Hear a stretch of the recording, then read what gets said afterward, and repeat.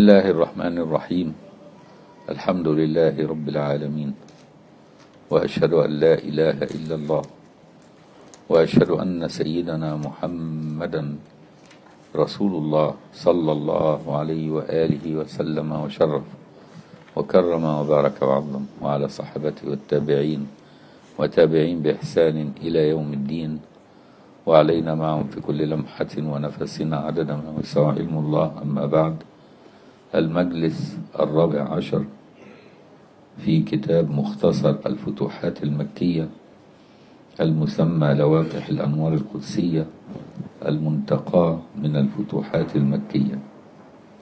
تأليف الإمام عبد الوهاب أحمد بن علي الشعراني المصري المتوفى سنة 73 و900 من الهجرة النبوية الشريفة. رحمه الله تعالى ونفعنا الله بعلومه وعلوم مشايخه وتلامذته وقراء مصنفاته وشراحها في الدارين آمين. وكتاب الفتوحات المكية لسيدي محي الدين ابن العربي الطائي الحاتمي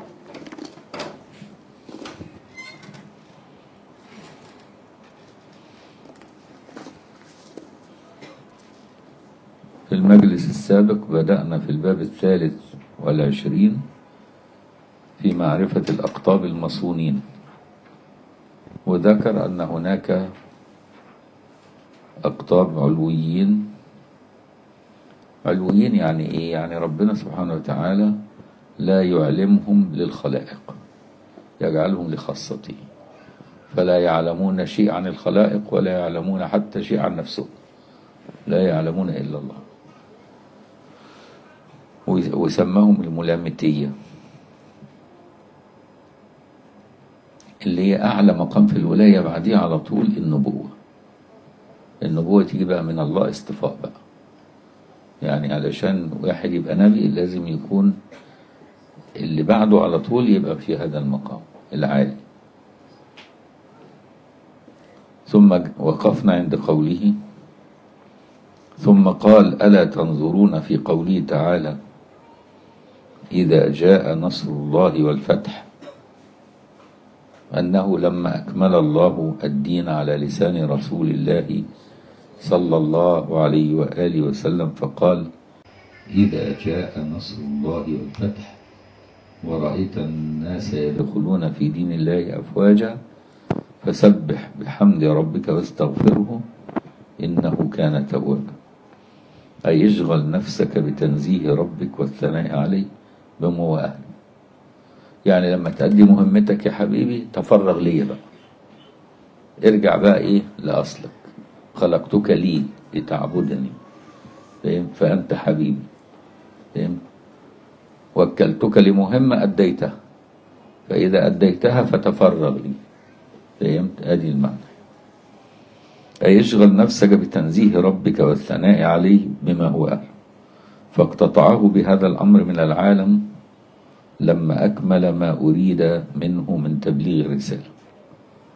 وطلب تعالى تعالى بالاستغفار أن يستره عن خلقه في حجاب صونه فاستغفر يعني اطلب سترك عن الخلق حتى تتفرغ للحق.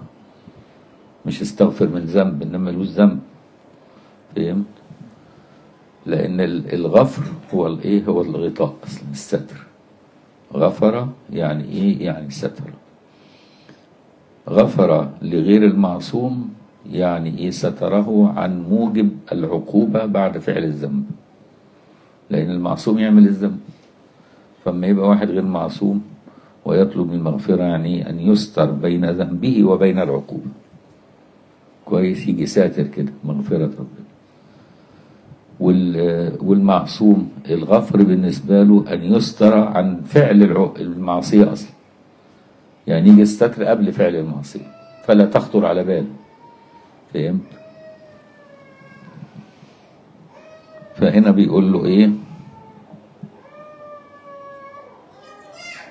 أراد بالاستغفار أن يستره عن خلقه في حجاب صونه لينفرد به دون خلقه دائما. فإنه كان في زمان التبليغ والإرشاد شغل بأداء الرسالة فلم يكن له إلا وقت واحد لا يسعه فيه غير ربه. كان ساعات يخطف نفسه في أثناء إيه؟ وظيفته في الرسالة وإيه؟ ويطيل السجود لدرجة ستنا عائشة تظن أنه فارق الحياة. ثم يقول لها بعد ذلك إن لي وقت لا يسعني فيه إلا ربي. يبقى كان أحيانا يستريح بهذا الوقت. فلما أتم رسالته قال له يا حبيبي بقى تفرغ لما تحبه. فعد إلي وإيه ولا كرب عليك بعد اليوم.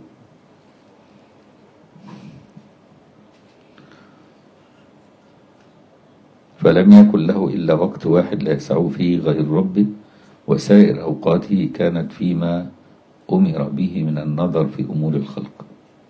وإن كان عن أمر الحق فإنه ثم شيء أعلى من شيء.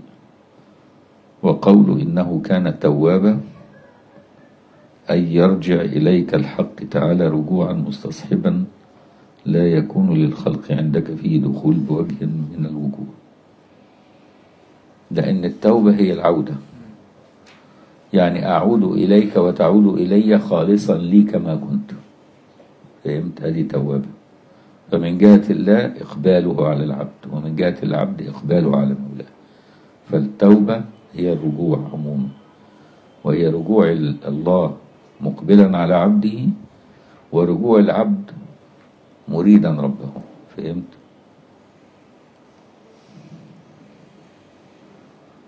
وهذا هو المعنى الحقيقي من هذه إيه؟ من هذا الأمر. فسبح بحمد ربك واستغفره إنه كان ده ده معنى الحقيقة. طب ومعنى الشريعة؟ استغفره لأمتك لأنك شافع له. كويس يبقى الاستغفار يعود على الأمة ومعاصي الأمة قياما بحق إيه؟ الشفاعة لهم. واضح؟ يبقى الآية لها وجه حقيقة اللي هو بيقوله سيدنا واحد دي ولا وجه شريعة عند العلماء.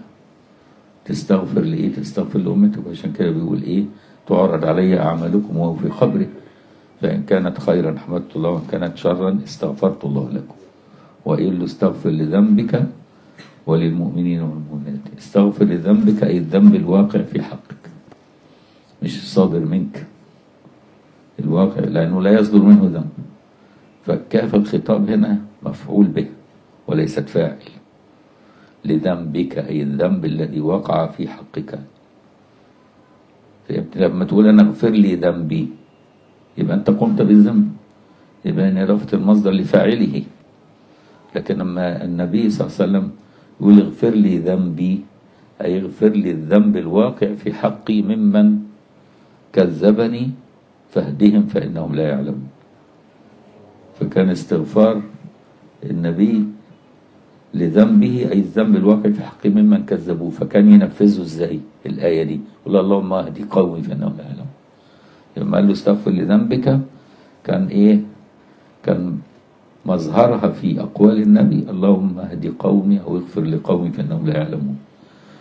واستغفر للمؤمنين والمؤمنات فكان يستغفر في اليوم أكثر من مئة مرة لأمته بقى. يبقى النبي له استغفاران استغفار للمعرض عنه ليهديه الله. واستغفار للمطيع له بسبب تقصيره في الطاعة والوقوع في المعاصي. وعشان كده استغفر لذنبك أي للمعرض عنك. وللمؤمنين والمؤمنات لأنهم ليسوا معصومون فهمت؟ وعشان كده نفس المعنى إيه إن فتحنا لك فتحا مبينا ليغفر لك الله ما تقدم من ذنبك وما تأخر. أي ما تقدم من الذنب الواقع في حقك قبل هجرتك من الكفار. فاضطروك للهجرة. وما تأخر أي من ذنوبهم حيث حاربوك بعد الهجرة في بدر وأحد والأحزاب. فهمت؟ فالنبي كان يستغفر لهم. فبناء عليه أقب دخلوا في دين الله أفواجا. فهمت بقى؟ فيبقى الآية دي ليها معنى. من حيث الشريعة ولها معنى من حيث الحقيقة. تاني محي الدين بيركز على معناها من حيث الحقيقة. فهمت بقى إزاي؟ لأن هو استغفاره لأمته رجوع لمولاه برضه. فهمت؟ يعني حتى استغفار لأمته برضه هو رجوع لمولاه. فهو راجع لمولاه في كل حال. أي يرجع إليك الحق تعالى رجوعا مستصحبا لا يكون للخلق عندك فيه دخول بوجه من الوجوه وهذا الأمر يكون لطائفة الملامتية على الدوام. اللي هي استمرار الاستغفار لله بالرغم أنهم غير مقصرين لأنهم غير ملتفتين لغير مولاهم. فكل استغفارهم استغفار عما قد يلحقهم من نوع من الفتور ولو لحظي. ال- البشرية المعتادة لأن طبيعة البشرية أنها تفتر. بخلاف الملائكة لا تسأم ولا تفتر. فلحقيقة البشرية فيها الفتور ده. بيبقى باستمرار الملامتية. حتى هو بيستغفر بيستغفر من الاستغفار. شوف قد إيه. يعني بي... وعشان كده النبي علمنا الحكاية دي إن بعد ما نصلي الصلاة دي أكثر حاجة بتطيع فيها ربك. المفروض لما تخلصها تقول الحمد لله. صح. لا قالك لما تقول تخلصها تقول استغفر الله يعني على الخلاف المتوقع. يعني هو أنا بعمل ذنب طيب ده أنا كنت بصلي أستغفر ليه؟ آه تستغفر لأنك أنت مهما كنت في صلاة وإقبال فطبيعة البشرية قاصرة عن أنها تصل إلى الكمال الإقبال إلى الله. فتستغفر للنقص الإيه؟ اللي هو في أصل حقيقة خلقك. فهمت بقى؟ فالملامتية عشان كده إيه؟ في دوام الاستغفار والرجوع إلى الله. بالرغم إن هم أصلا من الناس اللي غير ملتفتين الا لمولاهم لكن مهما إذا كانت الملائكة بتقول سبحانك ما عبدناك حق عبادتك والملك لا يسأم ولا يكل ولا يمل بل طعامه وغذاؤه هو ذكر الله. يعني ما بياكلش ويشرب زينا كده فول وطعمية ولحمة ومحشي ومش عارف ما بياكلش الحاجات دي لا. ده هو غذاؤه الملك ذكر ربنا. إزاي وبالرغم من كده يقولوا سبحانك ما عبدناك حق يعني هم بيعبدوا ربنا كعب كنفسك. أنت في النفس ده بتبذل مجهود؟ هم يلهموا العبادة كالنفس. يعني يعني أنت كنفس الإنسان كده شوف أنت بتقوله وأنت حتى نايم بتتنفس. والملائكة ما بتنامش كمان. وبالرغم من كده يقولوا إيه سبحانك ما عبدناك حق عبادتك. الله يعني عندهم إيه لوم لأنفسهم. آه ادي الملامتيه بقى هو في عز إقباله لمولاه بيستغفر من تقصيره في إقباله لمولاه. علشان كده يقول لك إيه؟ والتوبة تكون من التوبة دائما. يعني في ناس تتوب من الذنب وفي ناس بتتوب من التوبة. فهمت كل حاجة بقى على مقام. أدي الحكاية. لأن أنت حتى وأنت بتتوب إلى الله توبتك دي حقك تتوب منها. لأنك أنت بتتوب إلى الله وفي نفس الوقت مش إلى الله الحقيقة. ده أنت بتتوب إلى الله لثواب الله للتائبين. الله ده أنت بتتوب لحظ نفسك. ده أنت ده أنت برضه لسه مغموس في شهواتك. فهمت؟ لكن ربنا بيقول إيه؟ ولا يشرك بعبادة ربه أحدا ولا حتى رغبة ليك. فهمت؟ وبالتالي لو انت تحققت من عملك لوجدت أنك في طاعتك يعني أقرب منك في سخطه من معصيتك. تصور بقى. لأن في المعصية أنت ب ب ب بتلوم نفسك. لكن في الطاعة أنت بتمدح نفسك. آه يبقى انت اللوم ده بيدي انكسار في النفس. طول ما انت منكسر تكون أقرب إلى مولاك. منك وأنت إيه؟ منفوخ كده. وإيه وفرحان إنك أنت من الطائعين ربنا مش عايزك تبقى إيه يعني شايف نفسك. الطاعة بتخليك شايف نفسك والمعصية بتخليك إيه زعلان من نفسك. يا رب خدني بقى مني بقى. فاهم؟ فلما تبقى زعلان من نفسك يبقى مش عايز إلا الله بس. إنما وأنت في الطاعة بقى آه فرحان بقى بنفسك وشايف نفسك. عشان كده قالوا إنك أنت في حال معصيتك وندمك أقرب إلى الله منك وأنت في حال طاعتك. شفت قد إيه؟ حاجات كده لفتات ما ياخدش باله منها إلا إيه؟ أهل التصوف. لكن طبعا تقول الكلام ده الوهابيه يقول لك ده إيه؟ إيه الزندقة دي؟ لأنه مش مدرك هذا المعنى. إحنا بنتكلم معنى تاني لطيف. وهم دول ما بيفهموش إلا المعاني الغليظة مش المعاني اللطيفة. فهمت بقى؟ ما يجراش حاجة. كلم كل واحد على إيه؟ على قدر فهمه وخلاص. زي ما تيجي الواحد في أولى ابتدائي تكلمه على بقى إيه؟ على المعادلات الرياضية اللي بياخدوها في كلية العلوم قسم رياضة بحته وهو لسه في ابتدائي. يقول لك إيه ده؟ اللخبطة دي؟ واخد بالك؟ الناس دي ظهر مش فاهمة حاجة. وهم فاهمين كل حاجة لكن هو اللي مش فاهم. هو بالظبط كده. فإذا وجدت ناس الرسول صلى الله عليه وسلم يقول خاطبوا الناس على قدر عقولهم فلما تيجي تقول للواحد من أهل الطاعة أنت طاعتك دي تستوجب الاستغفار. يقول لك إيه ده؟ استغفر إزاي بقى؟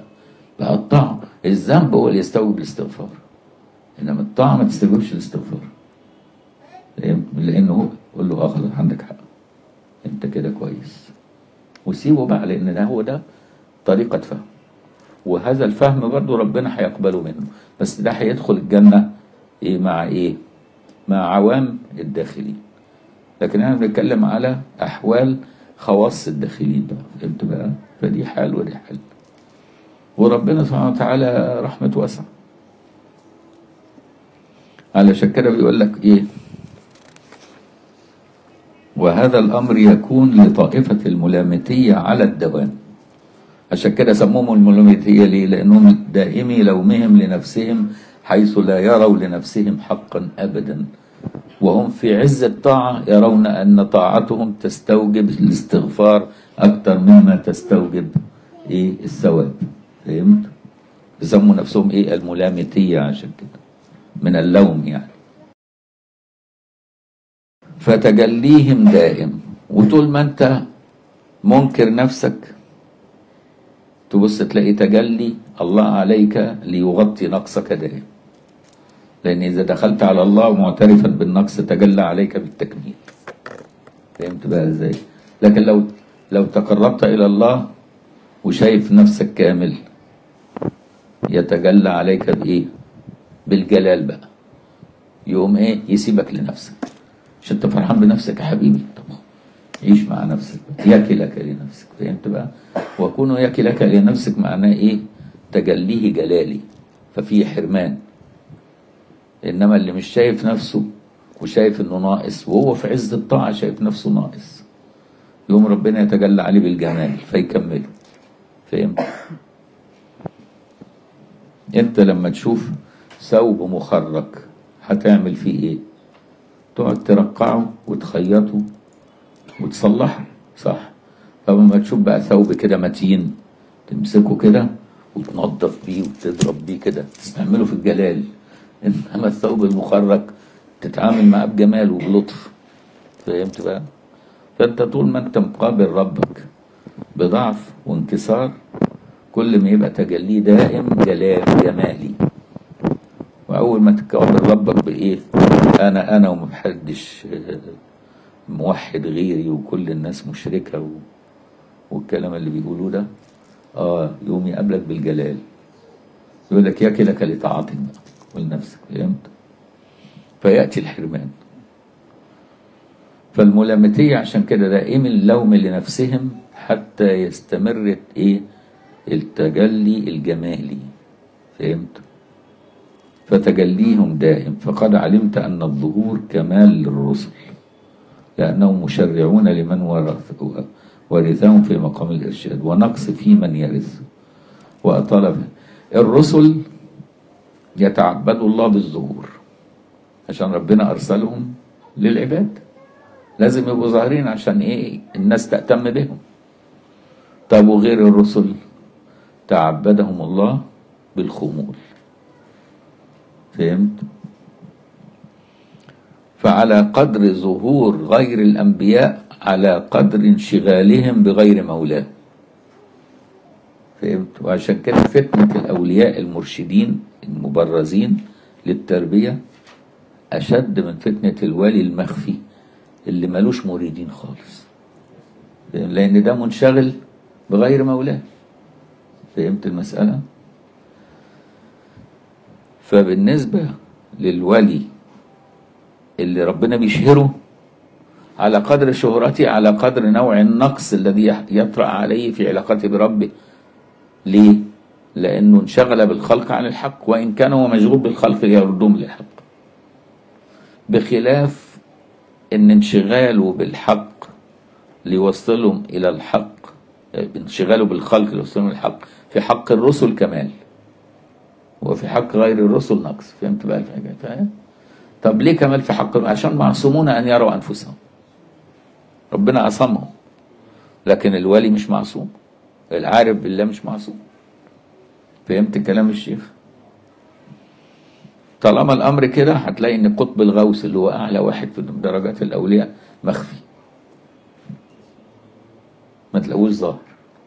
ولا يعلن عن نفسه. حتى لو ربنا عرفه ما يعلنش عن نفسه. فهمت بقى إزاي؟ وإن كان بعض ساعات الأقطاب في بعض العصور يبقى هو القطب الوقت هو نفسه ما يعرفش نفسه. يقوم ربنا غيران عليه حتى إن نفسه تعرف نفسه. شوف قد إيه يحجبه عن نفسه. فده يجعلك إيه؟ إنك أنت تحترم الأمة كلها بقى. مش تحترم المشاهير بس. لا ده أنت الأمة كلها محترمة عندنا. رب الولي المخفي ده يكون إيه؟ يكون واحد منهم قد عشرة من الأولياء الظاهرين اللي أنت إيه؟ نفسك تقعد تحت رجليهم. ويطلع المخفي ده اللي هم الظاهرين دول نفسهم يشيلوا له نعله فهمت بقى إزاي؟ علشان كده ده يخليك إيه بقى؟ المعاني المعاني دي تخليك إيه؟ تحترم الأمة كلها. تحترم الأمة كلها فوق دماغك. فهمت؟ الباب الرابع والعشرين. وقال في الباب الرابع والعشرين أول من اصطلح على تسمية سؤال العبد ربه دعاء لا أمرا. محمد بن علي الترمذي اللي هو يسموه الحكيم الترمذي.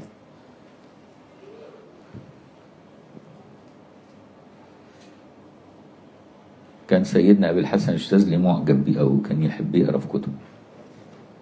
الحكيم الترمذي ده.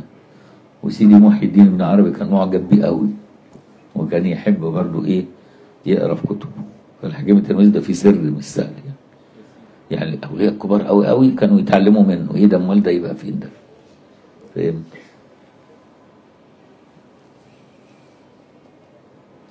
هو من علماء نيسابور توفي سنة 318 هجري.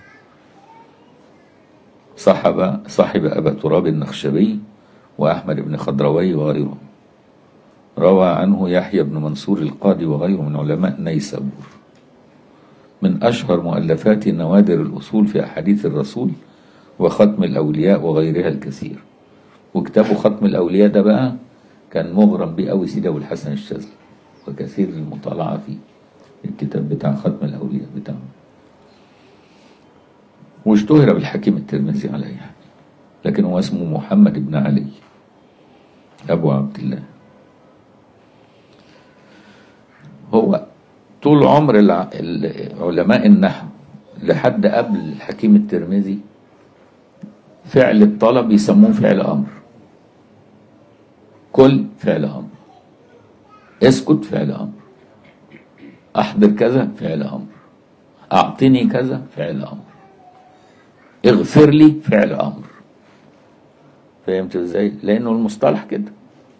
يعني كل فعل يدل على الطلب فهو يسموه فعل أمر. واضح؟ لحد ما جاء الإمام الترمذي قال لك إلا لما يكون فعل الأمر متوجه إلى الله نسميه فعل دعاء أدب بقى. يعني غير المصطلح. فهمت بقى؟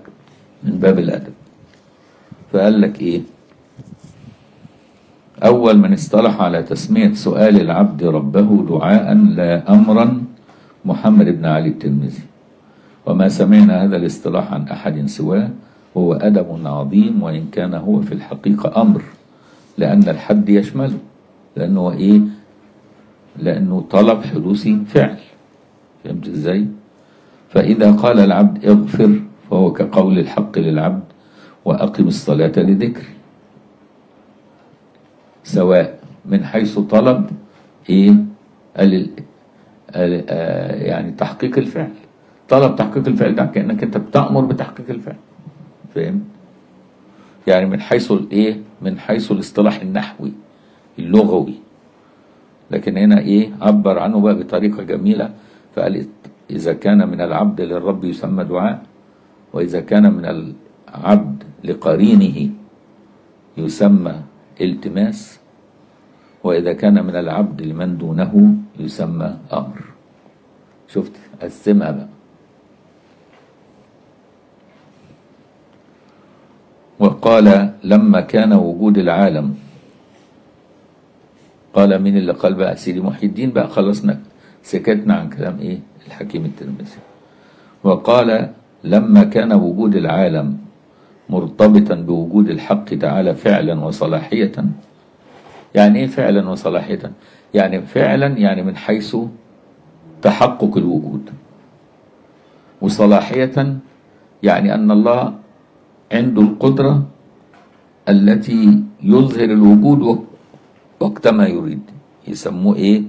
صلوحي قديم. يبقى عندنا صلوحي قديم وفي تنجيزي حادث. فهو من زي بالظبط هديك مثال. انت قبل ما تتجوز؟ إنت صالح إنك تبقى أب. صح؟ لكن ما ظهرش الأبوة لسه. بس إنت صالح تبقى أب. بعد ما تروح تتجوز ومراتك تحمل وبعد تسع شهور يتوأوأ بقيت أب. بقى تنجيزي حادث. فهمت بقى؟ قبل خلق العوالم فالله خالق برضه. حتى قبل خلق العوالم. اسمه خالق برضه. قبل خلق المرزوق كان رازق. قبل خلق العوالم كان مدبر. ولا الصفات دي طرأت عليه؟ لا ما طرأتش عليه. فاهم؟ بس إيه؟ أدي معنى إيه؟ وجود العالم مرتبط بوجود الحق تعالى. فعلا اللي هو تنجيزي حادث وصلاحية يعني صلوحي قديم. فهمت بقى المعنى؟ فإن اسم الملك لله تعالى أزلا. هو طول عمر الملك لم- لما يبقاش ملك إلا يبقى إيه؟ بيحكم. حب يحكم فين؟ إذا كان مفيش حاجة معاه. بس هو ملك برضه فهمت ده ده اسم أزلي. ده اللي خلى ابن سينا يقول قدم العوالم. لأن قال ابن سينا إيه؟ قال إنك أنت لما تقول إن العوالم حادثة حدثت ولم تكن موجودة قديمة. يبقى أنت عطلت صفات الله حتى تظهر العوالم. وكأن ظهور العوالم كان سببا لظهور صفات الله فصفات الله مفتقرة للعوالم. والله لا يفتقر. فهمت كلام ابن سينا؟ متأثر بإيه؟ بتأويلات بعض الفلاسفة. وعلشان كده قال لا ده العوالم موجودة أزلا لأن الله مالك أزلا. ده كلام بعض الحكماء اللي هم يسموهم الفلاسفة. لكن على أي حال بالنسبة للأزل يعني معناه أول بلا بداية. أدي معنى الأزل. وأبدي يعني إيه؟ يعني آخر بلا نهاية. يبقى عندنا أبد وأزل. الأزل بينظر لإيه؟ للماضي والأبد ينظر للمستقبل. طب والسرمد؟ الدوام. اللي هو بينهم. فهمت بقى؟ يبقى عندي إيه؟ أقول الله أزلي يعني أول بلا بداية. ديمومي يعني آخر بلا نهايه وبينهما سرمدي. سرمد خدت بالك؟ عشان كده ساعات يقول يا أبدي يا ديمومي يا سرمدي.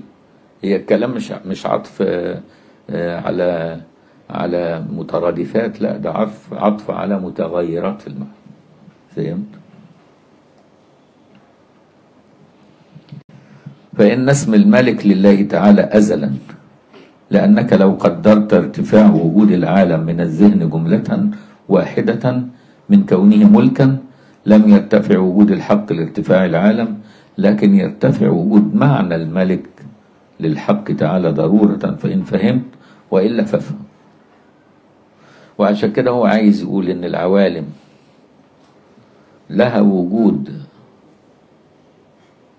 أزلي من حيث علم الله بها فهمت إزاي؟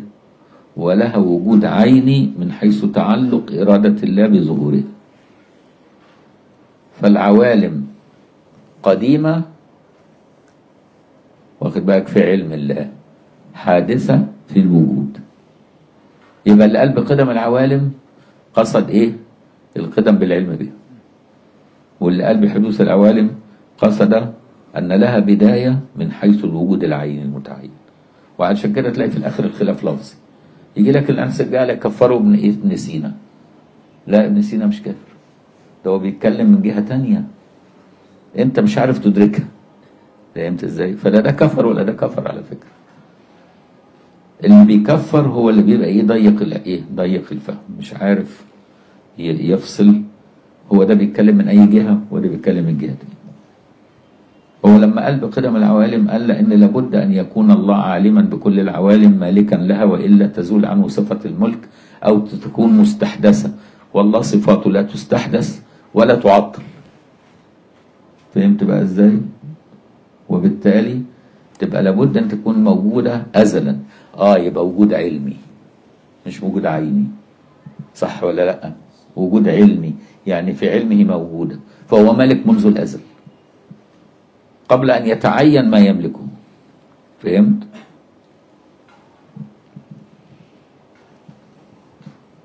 عشان كده بيقول لك فإن فهمت وإلا فافهم. يعني راجع نفسك تاني بقى. راجع تاني نفسك عشان تحد ما تفهم بقى. لعلك تكون فهمت. فلم يزل الحق ملكا وإن كان العالم معدوما في العين. الله يبقى قال بحدوث العوالم. من حيث الوجود العيني. وقال بقدم العوالم من حيث الوجود العلمي. الله ده جمع لك الرأيين. عشان كده بيعتبروا إن سيدنا محي الدين مذهب ثالث بين من قال بحدوث العوالم مطلقا وبين من قال بقدم العوالم مطلقا. ده مذهب ثالث. ربط بينهم. فهمت بقى؟ وده يحل لك مشكلة الخناقة اللي تمت بين بعض من أهل السنة مع ابن سينا ومن إيه؟ سار على نهجه من قولهم بقدم العوالم قامت خناقة كبيرة وده كفر ده وده مش عارف يعمل ده ويزندق ده. لكن ميزة الولي لما يبقى إيه؟ فكره واسع يبص لا إيه ي- يلاقي إن اللي قال بقدم العوالم ده كان بيب- بيبص عليها من الجهة دي. واللي قال بحدوث العوالم ده كان بيبص عليها من جهة الوجود العيني. فكل واحد باصص لجهة شكل. لو كل اتنين بصوا من كل الجهات هيلاقوا إن ده صح وده صح. نفس القضية اتعملت في خلق القرآن. واتخانقوا على خلق القرآن والقرآن قديم والقرآن حادث المعتزلة بتنظر للقرآن المنطوق من المخلوق اللي باللغة العربية المكتوب بالإيد. ده مخلوق طبعا قطعا. لأن الله خلقكم وما تعملون. نطقك ده مش عمل. يبقى عملك مخلوق. يبقى القرآن اللي بتتلوه ده مخلوق. والقرآن اللي بتكتبه ده مخلوق. المعتزلة يقول لك القرآن مخلوق. بينظروا على القرآن الذي بين يدي الخلق وعلى ألسنة الخلق. أهل السنة يقول لهم إزاي مخلوق؟ ده كلام الله وصفة الله قديمة. قرآن قديم. أنت كافر؟ لا أنت كافر. أنت كافر. قعدوا كده 200 سنة. 200 سنة يتخانقوا ده باصص من جهة من جهة نسبة القرآن لله فهو قديم لأنه كلام الله. والتانيين باصين للقرآن الصادر من أفواه العباد. فهمت؟ ده باصص في جهة وده باصص في جهة. ويتخانقوا مع بعض وكل واحد بيحلف وهو صادق لأنه مش شايف إلا جهة واحدة. لحد ما الأمة هديت. فقالوا لهم يا جماعة أنت باصص من جهات طب بص لي. الناحية دي اللي باصص لجهة الله بس قال له طب بص لجهة العبد. ده مخلوق ولا مش مخلوق؟ قال له آه ده مخلوق. والتاني اللي بص لجهة العبد بس قال له بص لمصدر القرآن. ده مش كلام الله. وكلام الله صفة قديمة آه ده قديم. قال لهم خلاص خدوا بعض بالحضن واتحلت المشكلة. فهمت إزاي؟ لكن ده باصص كده والتاني باصص كده. باصص كده اتجاه العبيد. والتاني باصص للمصدر. فهمت بقى إزاي؟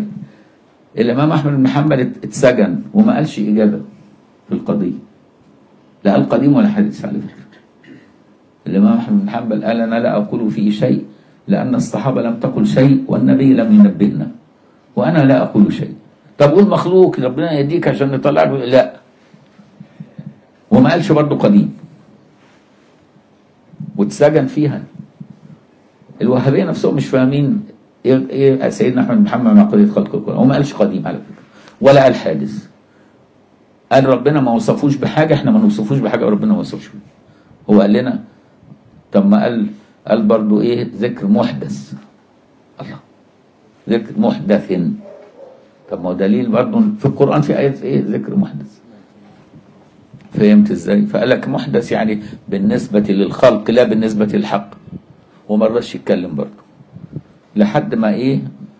ماتت الفتنة و200 سنة الدنيا هديت والناس ابتدت تفكر بهدوء فلقوا إن أهل السنة باصين الناحية دي والمعتزلة باصين الناحية دي. طب يا جماعة كل واحد يبص للجهة اللي التاني بيبص ليها هتلاقي الحكاية سهلة. زي بالظبط. انت جاي للفيل من ناحية الزلومة وده جاي للفيل من ناحية ديله. فاهم والتاني يقول لك لا والله ما عنده زلومة وعنده ديل بس لأنه جاي من ناحية ديله والتاني يقول لا والله ده ما عندوش إلا زلومة بس مش ديل. ده هو ديله جه في وشه فبقى دلومه ما عندوش ديل. فهمت إزاي؟ كل واحد صادق من جهة نظري من جهة نظري. ما فيش واحد إيه؟ كذاب. لا ده كل واحد صادق. لكن لو تعالى بقى عن جهة نظره فقط ونظر للموضوع بكله هيلاقي إن ليه ليه ديل وليه زلوم والحكاية كلها إيه؟ مش بتحتاجش الخناقة. نفس الحكاية هنا في قدم العوالم وحدوث العوالم. عاملين خناقة كبيرة. ويقول لك اللي يقول بقدم العوالم يبقى كافر واللي مش عارف إيه. والتاني يقول لك اللي بيقول بحدوث العوالم يبقى عطل صفات الله ويبقى معطل. فهمت؟ لا يا سيدي. اللي قال بقدم العوالم أي قدم العوالم من حيث علم الله بها فهي معلومة لديه في حال عدمها. فهمت؟ بل يبصرها في حال عدمها لأنه سميع بصير. يعني وجودها ما زادوش بصرا لا. لم يطرأ على بصر الله وسمعه زيادة علم بعدما خرجت للوجود. بل وجودها متعينة كوجودها في علمه سواء بسواء. لم يزدد علما بتعينها. واخد بالك إزاي؟ ولم يفقد علما بايه بعدمها. بل كله سواء عند الله. آدي كل الحكاية. فأنت أما تهدى شوية من التعصب لرأي هتلاقي في الآخر إن الخلافات اللي طرأت بين مدارس المسلمين المختلفه خلافات لفظية مش معنوية. وبالتالي هتلاقي كل الأمة ناجية. كل الأمة إيه تبقى ناجية. لكن البني آدم اللي هو إيه عايز يضيق الآراء كلها من وجهة نظره هو وحده يبقى أنت برضه بتنظر من جهة واحدة لكن ما بتنظرش الحق كله من فوق كده. ها؟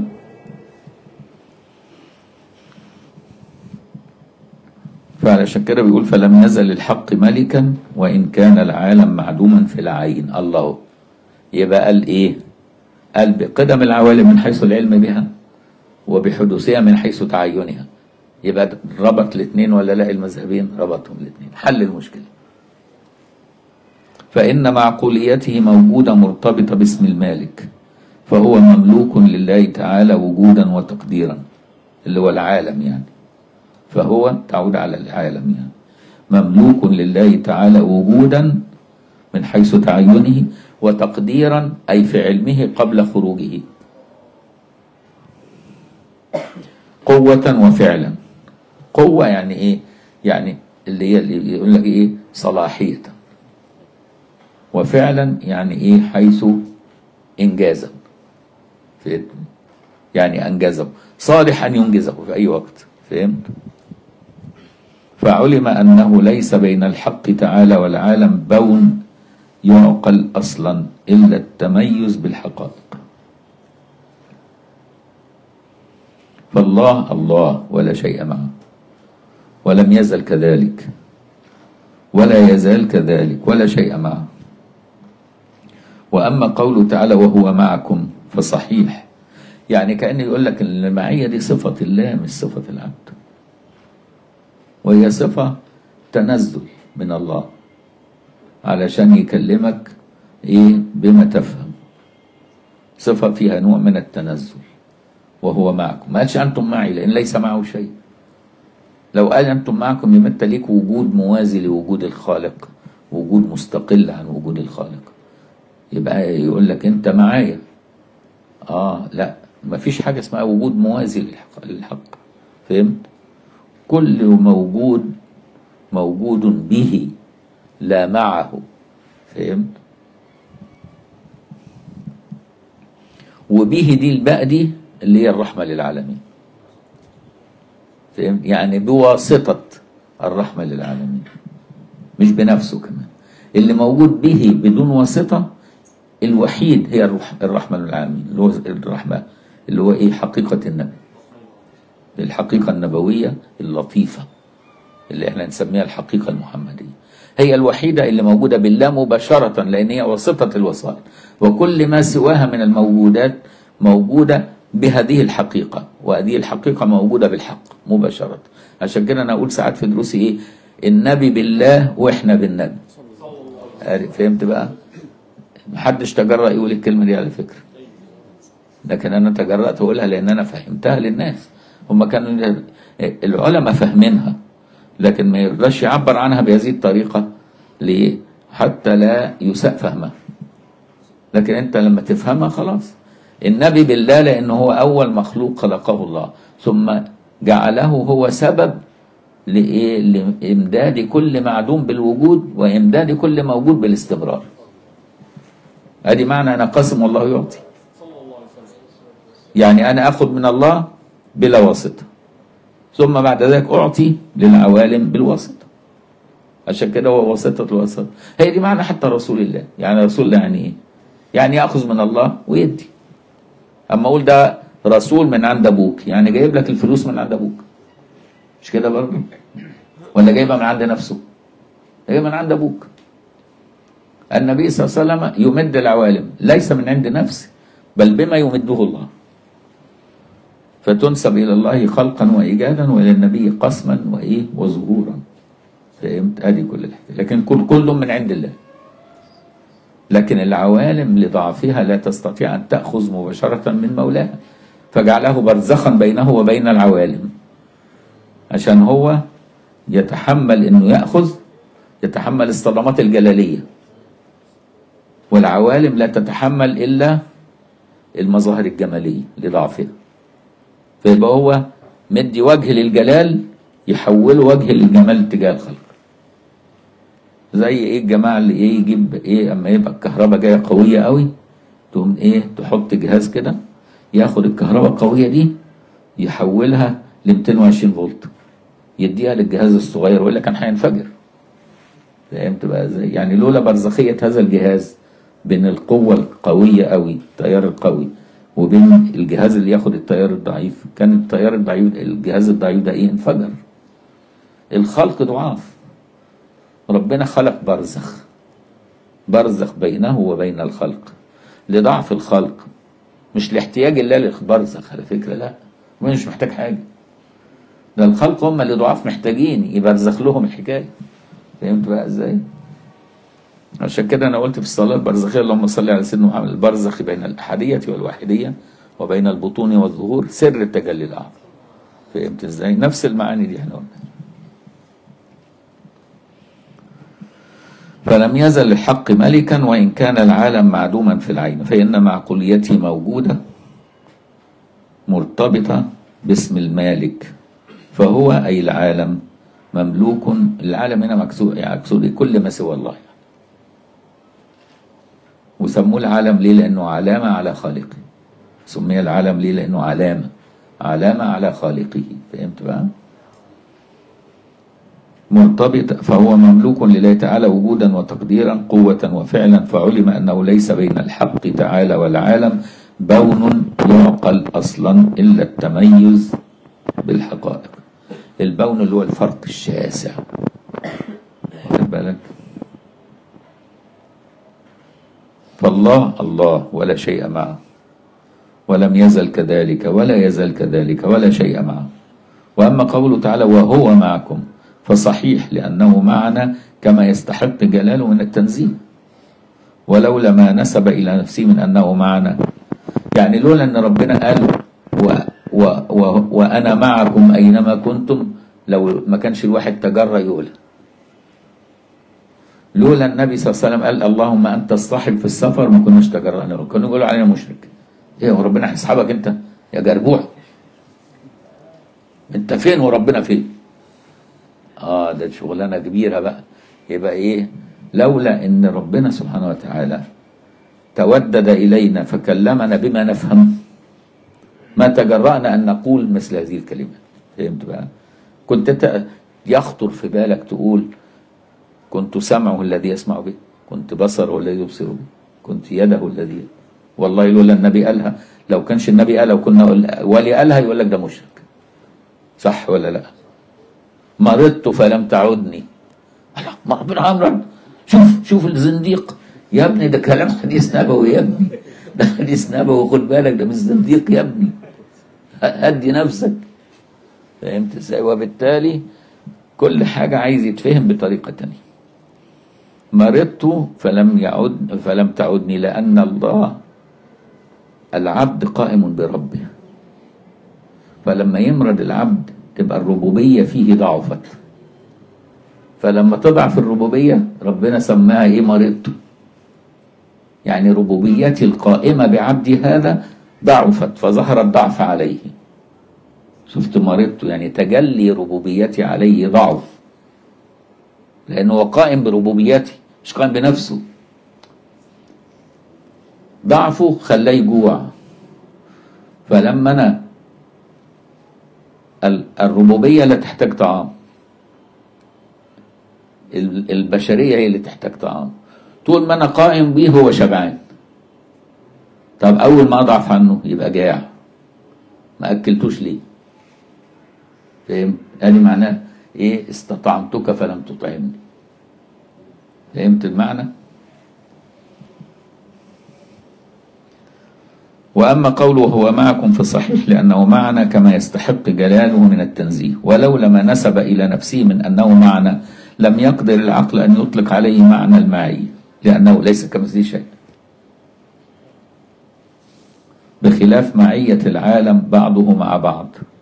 فنقول الحق تعالى معنا على حد ما قاله. وبالمعنى الذي أراده.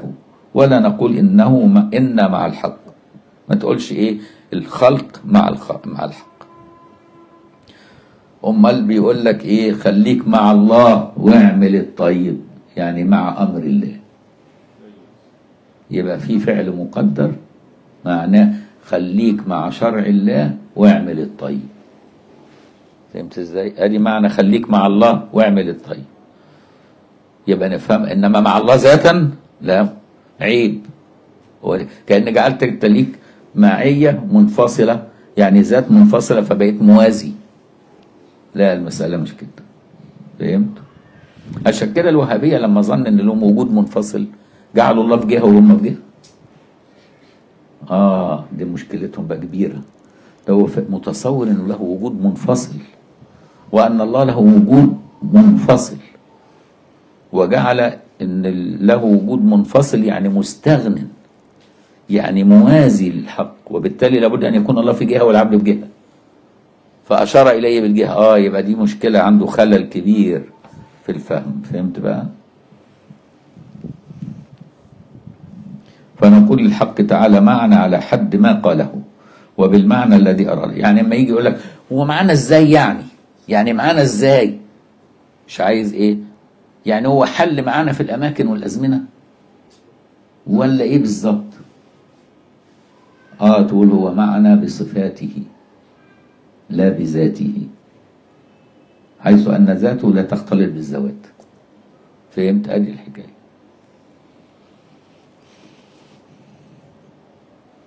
وأصل الحقيقة أصل المشكلة إن الخلق موجود معدوم في آن واحد. والله موجود دائم موجود بذاته ملوش وجه للعدم. يعني الممكن يسموه الممكن اللي لا وجه على العدم وجه للوجود سموه ممكن ليه؟ لأنه ممكن يبقى معدوم ممكن يبقى موجود. مش كده؟ ده الممكن. طب هل الممكن ده بوجه وجوده صار موجودا بذاته وفقد إمكانه؟ فصار واجب الوجود. وبوجه عدمه صار لا وجود له. ولا تعين الأصل فصار باستمرار معلوم. ده إحنا بنقول ممكن. فالممكن حال وجوده ما زال ممكن وحال عدمه ما زال ممكن. فهمت بقى إزاي؟ فهو ممكن في كل احواله وطالما ممكن في كل احواله يبقى موجود معلوم في آن واحد. عشان كده بيقول كل شيء هالك إلا وجهه كل من عليها فان أديك مثال. في حاجة كده ربنا خلقها لنا في الدنيا. موجودة معدومة في آن واحد وبنشوفها؟ الظل. ألم تر إلى ربك كيف مد الظل ولو شاء لجعله ساكنا ثم جعلنا الشمس عليه دليل لولا وجود الشمس اللي هي أصل الوجود ما كان هناك ظل. والظل في نفسه لا وجود له حقيقي. وفي نفس الوقت لا عدم له بكلية فهو له وجه وجود ووجه عدم في آن واحد. أهو العوالم كده بالنسبة لله ظل فهم؟ معدومة حال وجودها وموجودة حال عدمها فهمت حاجة؟ كده بيقول ألم ترى إلى ربك يبقى الربوبية ظهرت إيه؟ فلما ظهرت ظل الممكن له وجود بها ولولاها ما كان له وجود كالظل بالنسبة للجسم في وجود الشمس. فهمت إزاي؟ ألم ترى يا ربك كيف مد الظل ولو شاء لجعله ساكنا؟ ثم جعلنا الشمس عليه دليلا. ثم قبضناه إلينا قبضا يسيرا. يعني إيه؟ يعني كأن العوالم دليل وجودها خالقة. مش هي اللي دليل على خالقها فهمت بقى إزاي؟ فهو بيرقيك لنعنى تاني. إن لولا إن ثم جعلنا الشمس عليه دليلا. يعني كأن الله هو دليل على وجود الخلق مش الخلق هم اللي دليل على وجود الخالق. آه ده بيعلي بقى إيه مستوى إيمانك. حتى لا يكون إيه الدليل يكون أكثر ثبوتا من إيه من مدلوله. أيكون لغيرك من الظهور ما ليس لك فيكون دلا عليك. مش قايل كده في الحكم.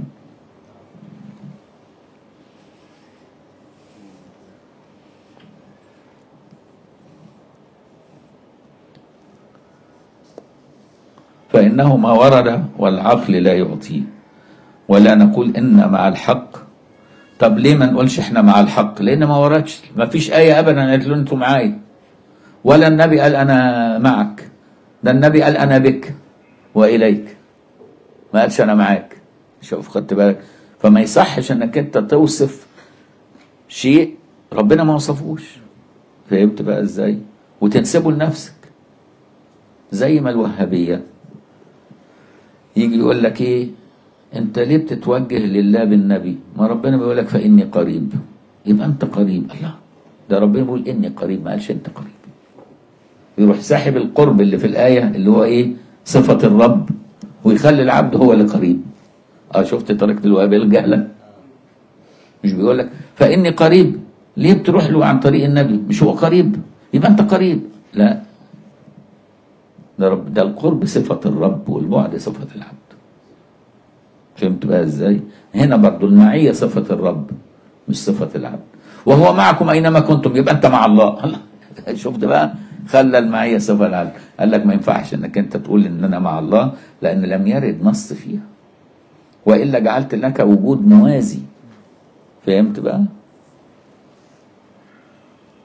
فانه ما ورد والعقل لا يعطيه فما لنا وجه شرعي ولا عقل نقول به إننا مع الحق.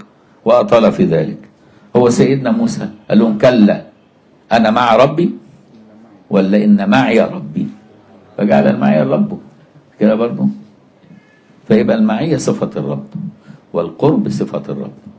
فالله في بطونه هو نفسه الله في ظهوره. فهو القريب في بعده والبعيد في قربه. في آن واحد في آن واحد سبحانه إزاي يعني؟ ليس كمثله شيء وهو السميع البصير. فهمت بقى المسألة؟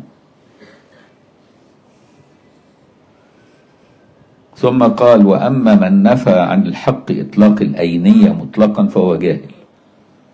لأنها وردت في لسان الشارع الذي هو أعلم الناس بالله تعالى في قوله للجارية أين الله؟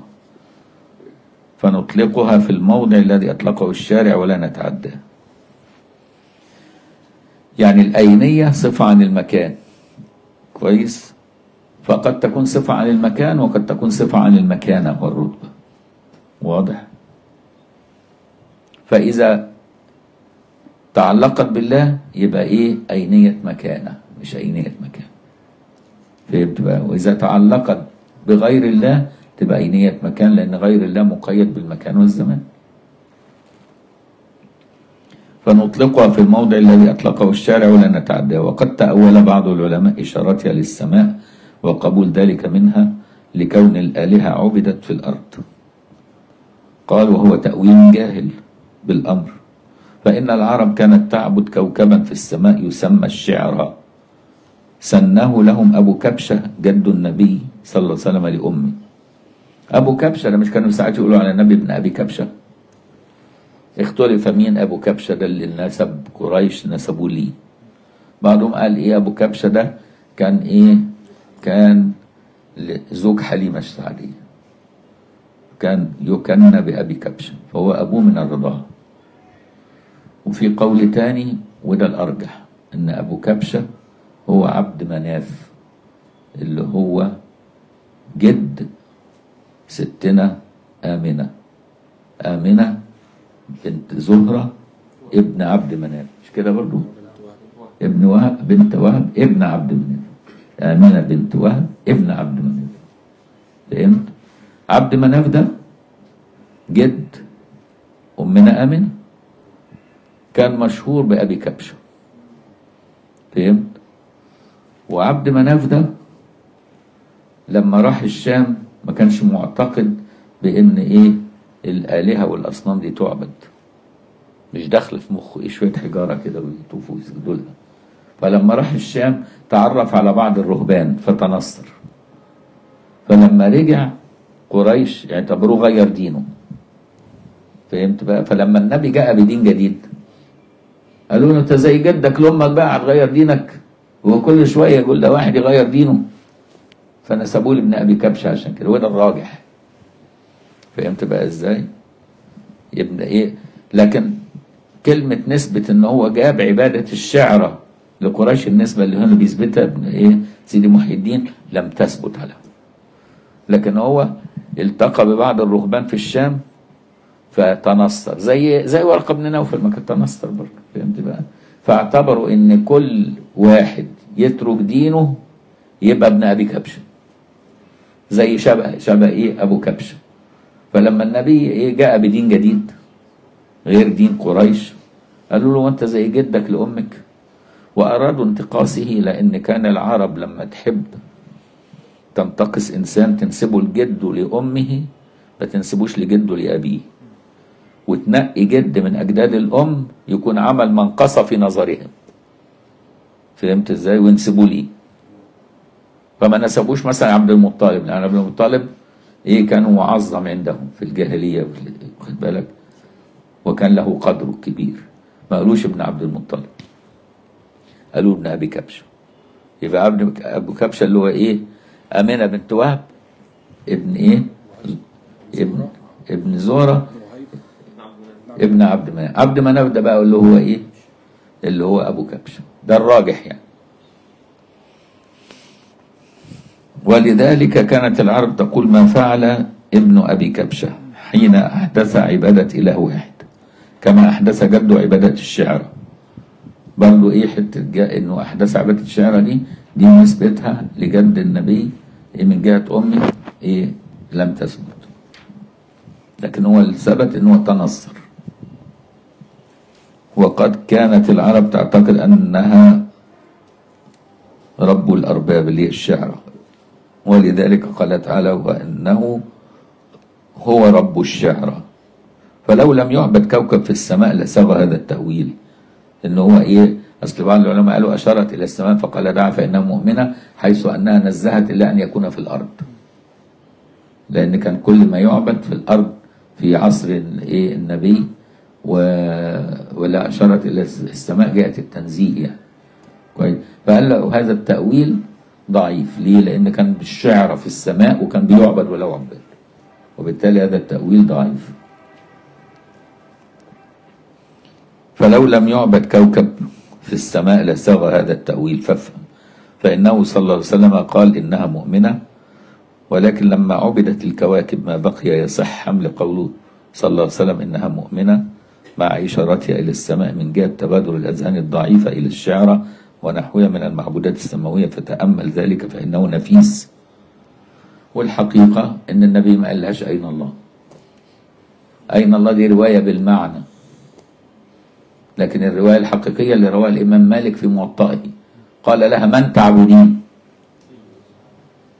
قال لها إيه؟ من تعبدين؟ فهمت إزاي؟ فأشارت إلى السماء يعني أنزهه. لأنها كانت لا تحدث يعني يعني لا تحسن النطق. لدغة ما بتعرفش تتكلم. فأشار لها قال لها من تعبدين؟ فأشارت إلى السماء. يعني إيه؟ أنزهه أن يكون إيه؟ في الأرض. أرادت جهة التنزيه كما أنك تجعل السماء قبلة الدعاء.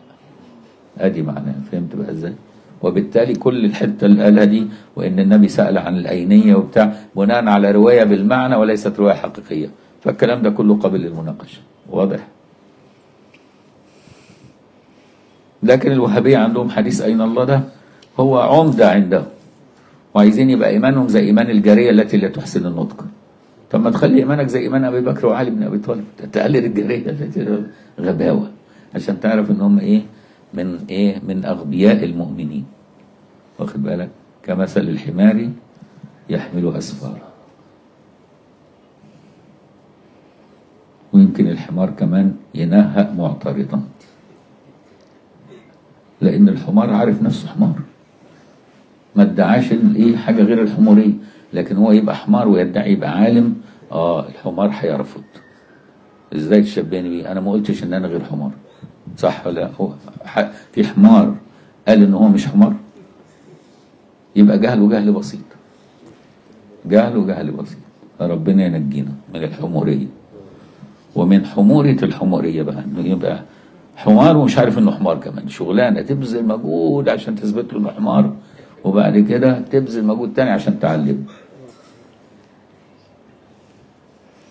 وقال لما كان الحق تعالى لا يكون له قد تجل على شخصين بمعنى واحد للتوسع الإلهي. يعني شوف انت مش كل لحظة ربنا بيتجلى علينا بصفة الإمداد لنستمر وجودنا كل تجلي تجلي جديد. كل تجلي تجلي جديد.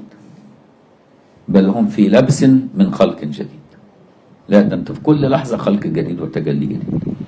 لكن غفلة البشرية ما بتشعركش بإن ده تجلي جديد. بتشعرك إنك أنت مستمر في الوجود. وده وهم. وهم بس. أول ما يزول عنك بالموت هتعرف إنك أنت في كل لحظة من وجود عمرك في الدنيا كنت في ترقي. دون أن تشعر. فاهم؟ كل تجلي تجلي. ليه؟ لأن التكرار علامة الإفلاس. والله غني مش مفلس. فهمت وقال لما كان الحق تعالى لا يكون له قد تجل على شخصين بمعنى واحد للتوسع الإلهي قلنا بامتناع رسالة نبيين في زمان واحد إلى شخص واحد برسالة واحدة. إلا إن نطقا بلسان واحد في آن واحد كموسى عليه السلام وهارون لما قيل لهما اذهبا إلى فرعون إنه طغى فقولا له قولا لينا ولا سيما موسى يقول هو أفصح مني لسانا يعني هارون وأطال في ذلك. ونقف عند هذا الحد نكمل الأحد القادم إن شاء الله. اللهم علمنا ما ينفعنا وانفعنا بما علمتنا وزدنا علما. إن الله وملائكته على النبي. يا أيها الذين آمنوا صلوا عليه وسلموا تسليما.